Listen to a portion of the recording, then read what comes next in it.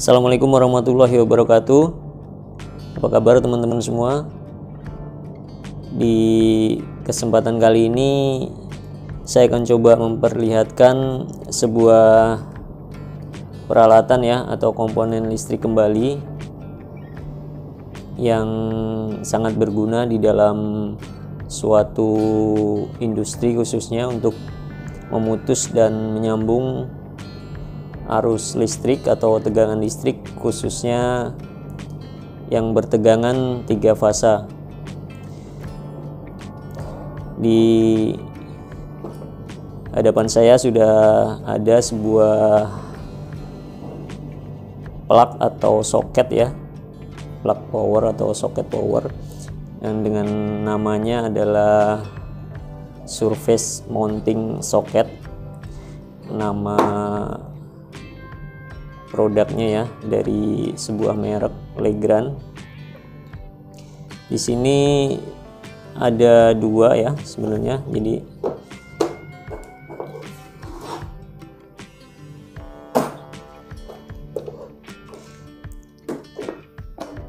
untuk soket yang ini adalah terlihat yang dengan kode triple lima dua lima delapan sedangkan yang satunya triple lima dua tiga delapan nah keduanya adalah sama-sama dengan empat pin ya. Terdiri dari tiga pas untuk lainnya. Fase 1, fase 2, fase 3 dan satunya adalah untuk ground untuk groundingnya. Terlihat di sini tiga pas plus tanda ground dengan IP 44 ya. Jadi tahan untuk percikan air. Dan dengan kapasitas maksimum 32 ampere dengan tegangan 380 sampai 415 watt. Jadi soket ini ya teman-teman jadi untuk di dalam sebuah industri khususnya untuk memutus dan menyambung arus listrik 3 fase dengan kemampuan ampere yang berbeda-beda ya. Ada yang contohnya 16 ampere dan di hadapan saya ini ada 32 ampere. Ini dari Legrand.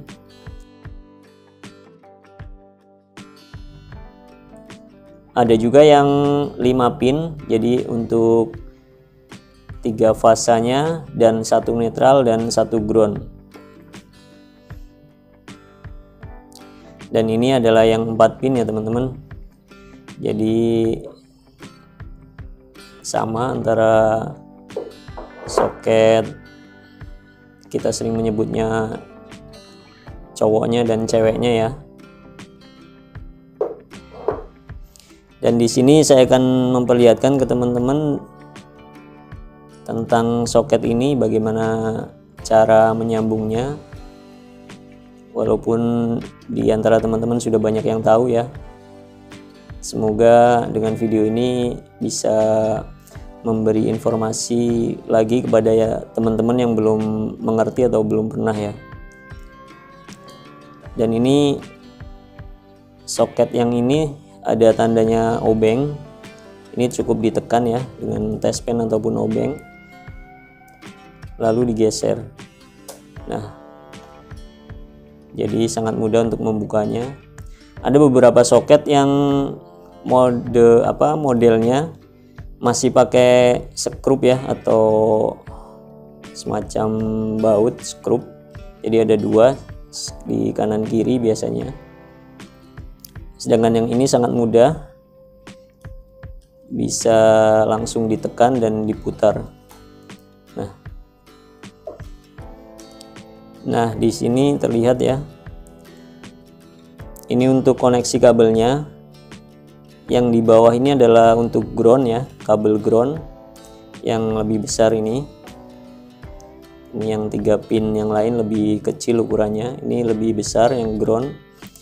Dan L1 untuk fase satunya, L2 lain keduanya fase kedua L3 fase ketiga ya atau LAN 3 jadi tiga fase dan satu ground. Tidak ada netralnya.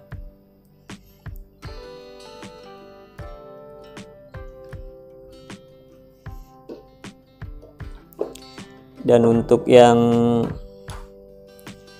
soket surface ini yang untuk permukaannya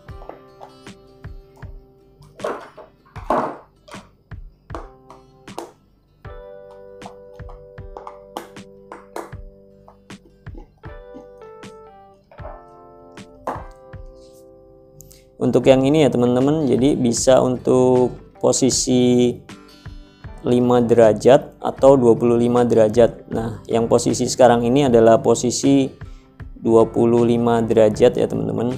Jadi dari posisi ini nanti soketnya akan lebih renggang. Bisa juga untuk pemasangan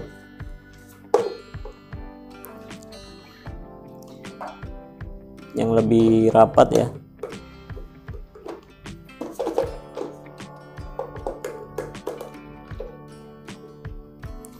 Yang lebih rapat yaitu 5 derajat. Terlihat di sini ada keterangannya dengan gambar dengan model yang seperti ini adalah 5 derajat sudutnya dan dengan model yang seperti ini adalah 25 derajat. Dan ini yang ini yang 5 derajat.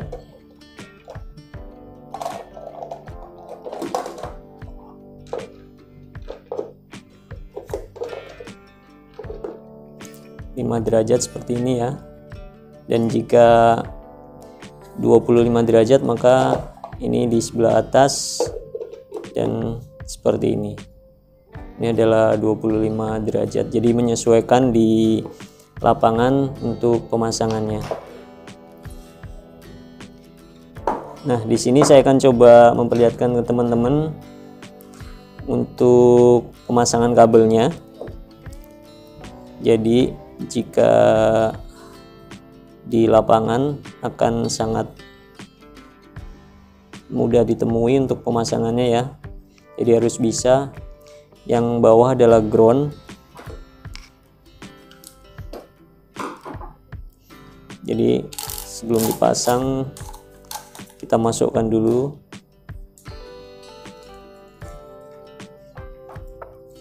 lalu masukkan covernya ini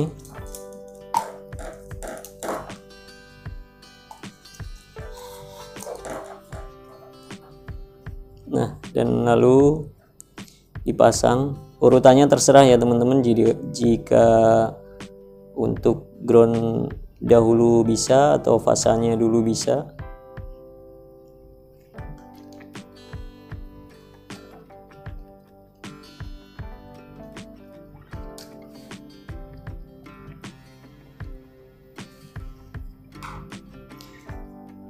Dan untuk fasanya tiga kabel yang lain itu di line 1, line 2 dan line 3 ini saya coba pasang untuk hitam di lens 1 ini untuk kedalaman lubang ini.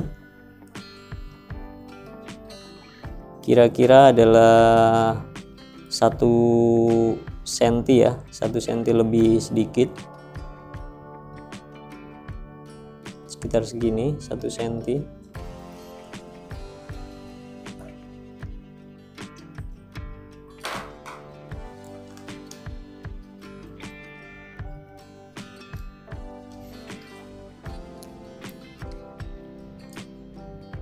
bisa hitam, abu-abu, coklat.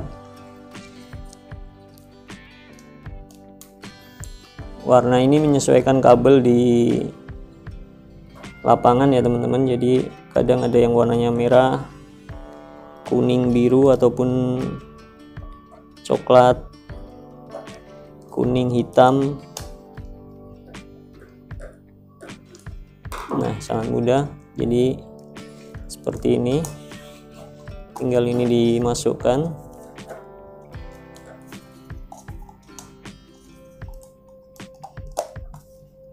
Tinggal diputar ya.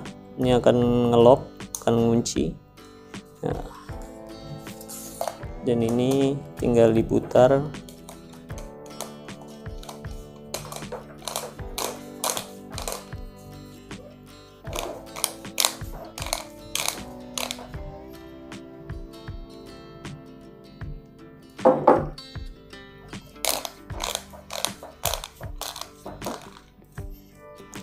Sudah kencang ya teman-teman. Di sini ada karetnya. Jadi untuk menghindari air bisa masuk.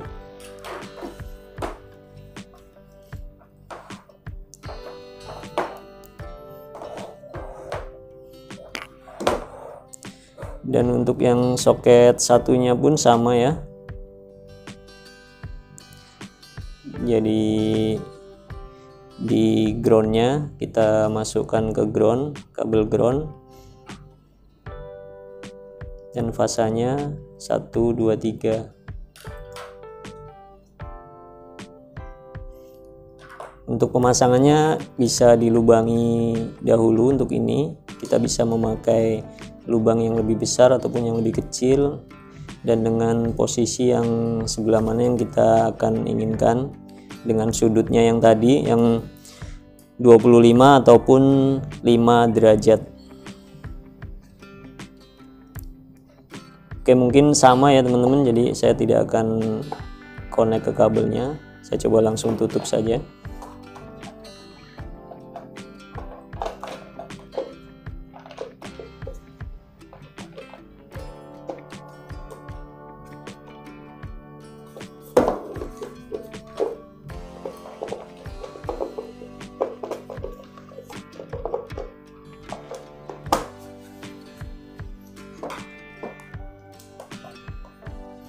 ada empat buah skrup ya di pojok atas bawah.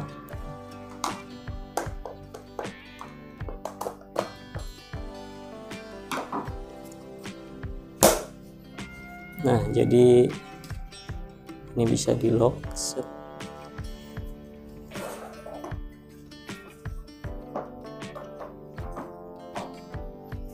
Dan untuk koneksinya ini ada tandanya ya untuk locknya jadi tidak geser. Untuk posisi ground juga menandakan ground di bawah. Dan ini ada pengunci untuk tutupnya.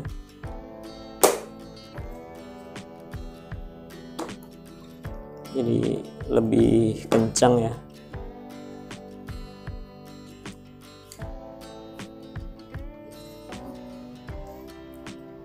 di belakangnya ada ukuran untuk diameternya ya teman-teman. Maksud saya untuk jaraknya jarak lubang jika akan dipasang di dinding ataupun di permukaan ya. Tinggal untuk ukuran lubangnya jaraknya 90 mili 9 cm dan di sini ada lubang juga. Jika nanti kabelnya akan masuk dari sini bisa dilepas apa dilubangin di sini.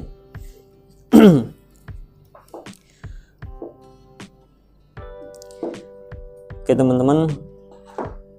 Mungkin cukup sekian video tentang soket tiga fase ini. Semoga bisa bermanfaat dan menambah wawasan untuk teman-teman semua. Bagi yang belum subscribe bisa subscribe ya untuk mendukung channel ini agar bisa lebih bermanfaat. Sampaikan kritik dan saran agar bisa lebih baik. Jika ada kesalahan bisa saya perbaiki. Oke? Terima kasih teman-teman. Sampai jumpa kembali. Assalamualaikum warahmatullahi wabarakatuh